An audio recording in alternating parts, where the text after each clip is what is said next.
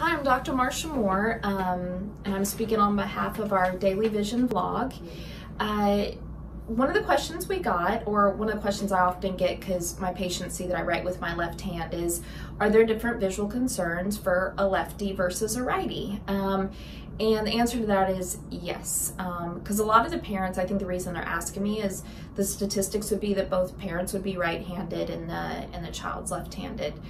Um, so one of the things is I think that's really, really key in development is that a child pick a hand dominant. So usually you can tell in a child by about two years old, but by three or four, those ages where they really start to grip, um, you should probably know the hand dominance by then. And I definitely wouldn't force it or push it. Um, but if you see that they're favoring their left hand uh, more than their right, um, I would I would go with that. So one of the biggest things I know for me growing up left-handed is it has actually a lot of strengths to it because you kind of grow up in a right-handed world. Most people that are left-handed can do things with their right hand um, and that's encouraged. So if your kid is kicks with the right foot or does a cartwheel right-handed versus left-handed, that's actually very strong in development to to be able to attack things from a couple different angles and with brain stimulation and that sort of thing. But for the most part, when you're sitting down and actually wanting to write, um, some key things to look for is that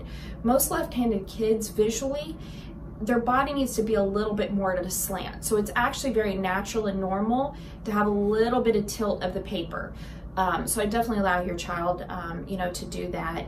And keep in mind, I think what some people don't think about when you're when you're right-handed person is when you're a lefty you're writing over what you see so especially if a kid's younger one thing you can help them out especially since more parents are teachers these days is you know, if they're struggling to copy at those really young ages, like kindergarten and first grade, is you can write the stuff on the right side of the page so they can view that a little bit easier to copy.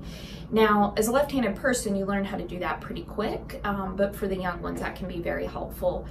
Another very, very important thing is um, keep in mind when you have like three ring binders that that binder can area can get in your way. So um, growing up, most teachers didn't allow, you know, the books to be turned um, or a notebook to be turned um, to the other side, but loose leaf would be would be great to work with, um, so you don't have that hand touching that um, that side. And what's um, real important is that the hand is comfortable and another thing is sometimes handwriting is a little bit slower to develop in a left-handed person than a right-handed person, and that's all um, you know totally normal. I would definitely um, get them certain left-handed scissors um, and teach them how to brace and balance with with both hands. Um, but I guess the take-home is it's a it's a blessing um, because most people that are left-handed use um, both sides of their brain more. So um, it's just that early on, giving them a few more tools to make them